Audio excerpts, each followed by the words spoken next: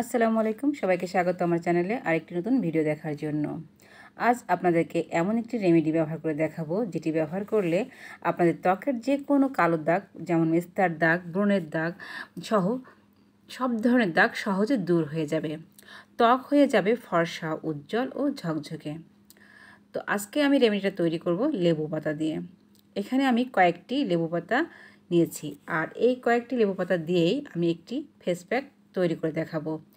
ঘরোয়া এই face pack ব্যবহারে আপনার ত্বকের সকল কালো দাগ দূর হয়ে ত্বক হয়ে উঠবে, ফর্সা, উজ্জ্বল।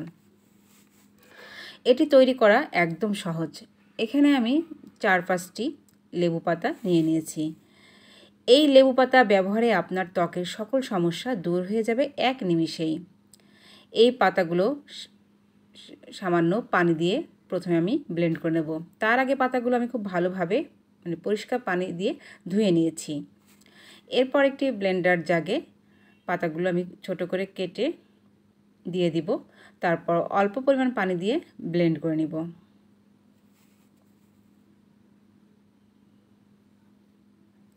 লেবুর থেকে কিন্তু লেবুর পাতাতে বেশি পরিমাণে ভিটামিন সি থাকে।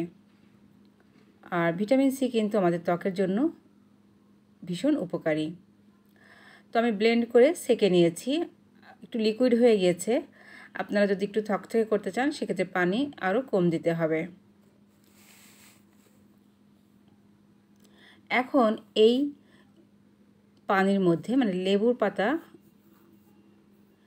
যে ব্লেন্ড করে যে পানিটা আমি পেয়েছি, তার মধ্যে আরও কিছু উপকরণ আমি মিশিয়ে নেব।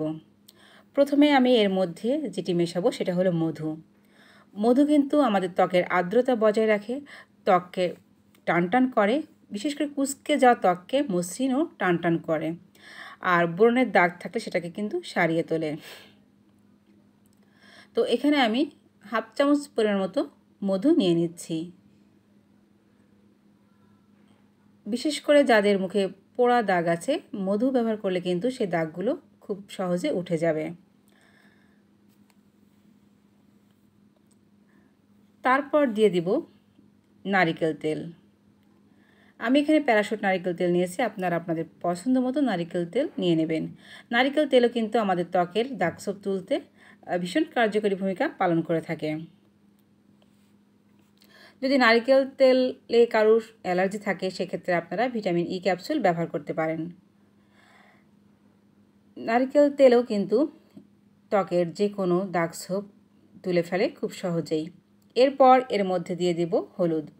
আমি এক চিমটি পরিমাণ মতো রান্নার হলুদ নিয়ে নিচ্ছি। হলুদের ব্যবহার কিন্তু আমাদের ত্বকের যদি ব্রণের সমস্যা থাকে, সেই সমস্যা কিন্তু দূর হয়ে যাবে। ব্রণের কারণে যদি ত্বকে ক্ষত হয়, সেটাও কিন্তু চলে যাবে। অর্থাৎ যে কোনো দাগ বা ঘা বা ক্ষত যদি মুখে সৃষ্টি হয়, সেগুলো হলুদের কারণে কিন্তু একদমই নির্মূল হয়ে যাবে। তো তিনটি উপকরণে আমি ভালোভাবে মিশিয়ে নিয়েছি। কিন্তু মিশ্রণটি একটু লিকুইড হয়ে যাওয়াতে আমি এর মধ্যে দিয়ে দিচ্ছি এক চামচ পরিমাণ মতো বেসন। বেসন যদি না থাকে, সেক্ষেত্রে আপনারা চাউলের গুঁড়াও নিয়ে নিতে পারেন। গরমে কিন্তু ত্বকের জন্য ভীষণ খুবই গুরুত্বপূর্ণ ভূমিকা পালন করে। বেসন আমাদের ত্বককে পরিষ্কার রাখতে সাহায্য করে। বিশেষ করে লোমকূপের গোড়ায় জমে থাকা ময়লা তুলতে কিন্তু ভীষণ খুবই উপকার করে থাকে। তো এখন আমি চারটা উপকরণই খুব ভালোভাবে মিশিয়ে নেব। এখন বলে দিচ্ছি এটা কীভাবে মাখতে হবে। যেখানে যেখানে আপনার মুখে বা ত্বকের কালো দাগ, মেস্তার দাগ, ব্রণের দাগ আছে, সেই দাগের উপরে কটরের সাহায্যে বা যেখানে একটা ব্রাশের সাহায্যে এই মিশ্রণটা দিয়ে দিবেন। মিশ্রণটা আমার একটু লিকুইড হয়ে গেছে। আপনারা যদি আরেকটু ঘন করতে চান, সেক্ষেত্রে আরেকটু বেসন দিয়ে দেবেন।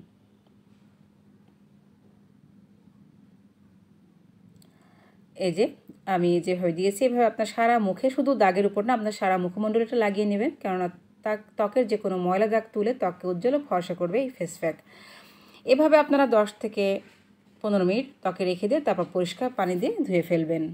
সপ্তাহে এটা দুই থেকে তিন দিন করতে পারবেন আর এই রেমেডিটা তৈরি করে আপনারা ফ্রিজেও রেখে দিতে পারবেন। তো ভিডিওটি ভালো লাগলে লাইক করবেন, চ্যানেলটিকে সাবস্ক্রাইব করে দিবেন। আর অবশ্যই সবাই এটা ব্যবহার করবেন এবং আমাকে জানাবেন কেমন ফলাফল আপনারা পেয়েছেন। তো সবাই ভালো থাকবেন, সুস্থ থাকবেন। আল্লাহ হাফেজ।